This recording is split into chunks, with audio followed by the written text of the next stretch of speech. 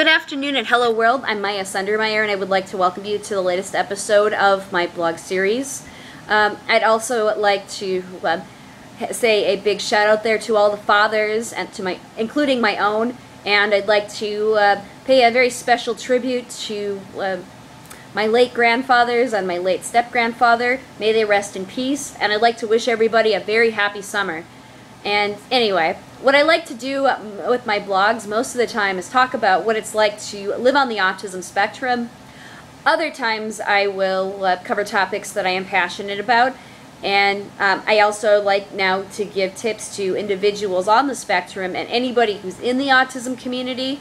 And finally, uh, give my two cents as to what's going on with autism in the media. And in this blog, I'm going to cover topics that I am passionate about because it's uh, the summertime and it means that DragonCon 2015 is just a couple months away. And one of my favorite things to do uh, before and uh, during and after the DragonCon show is I like to do a series of blogs and throw them on YouTube. And uh, what I would like to do is uh, call this blog up Gamers Rule at DragonCon. And no, it's not what you're thinking.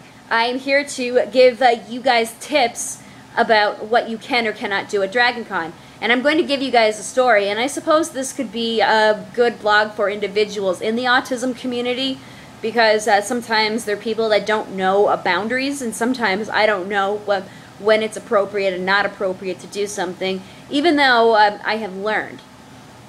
So, anyway, uh, last year it was uh, the Sunday before uh, the last day at DragonCon, and I was laying out by the pool because I was at the Hilton. I, I was laying out at the pool by the Hilton because I was overloaded from all the crowds, and I wanted to take a little break. And it was in the early evening hours, and I happened to run into a group of nice guys, and one of them was wearing a cape. And I asked him if he was involved with the gaming, and he said, yeah and that they were playing a game called Savage Worlds and that they were just taking a little break. And I asked him a little bit about it, and he said the game was called The Little Lamb Lost. And this, the concept of the story was if you found, if you caught the baby lamb and you uh, and you slew it in your town, uh, the eternal winter would go away and you'd have a spring. And I'm a fan of uh, C.S. Lewis's stories and uh, possibly the Tolkien, and it also reminded me of Passover a little bit.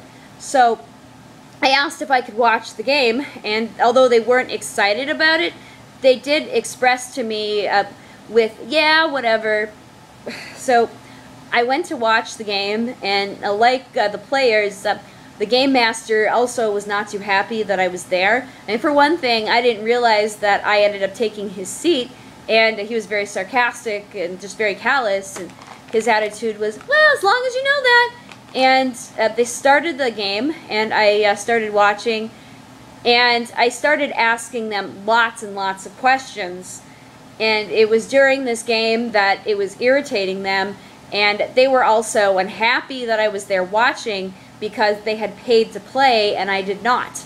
And I mean, it wasn't uh, like a big expensive game, it was $3, but they just didn't want to be distracted. So, uh, the uh, game the game master and these players ganged up against me last year, and they told me that uh, they didn't really want me there because I was a watcher, and uh, they they got together behind my back and uh, told and asked him to uh, throw me out of the room. So he did such, and I of course I was in tears about it, but I didn't really understand why. So I ended up having to. Um, contact uh, the head of the gaming uh, you know, the head of um, of the gaming department at DragonCon last year, and they uh, told me what had happened, you know, in email after they found out. So anyway, I wanted to give you guys some tips about that.